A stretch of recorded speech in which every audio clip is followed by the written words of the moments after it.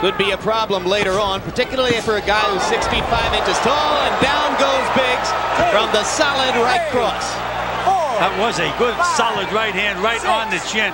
Seven, eight. Tyrell's going to get up They're out there. at 8. All right. Here we are.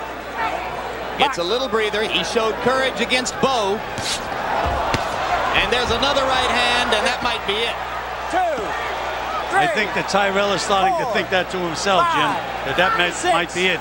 Not Well, he's going to make one more try. Eight. You okay? You want to go? No three knockdown rule in effect here. No three knockdown rule. So Tyrell can go down again without automatically being out of the fight. Both knockdowns were on the right cross. Lewis throws another one. Biggs goes down again, and the referee's seen enough. That's an impressive victory for Lennox Lewis.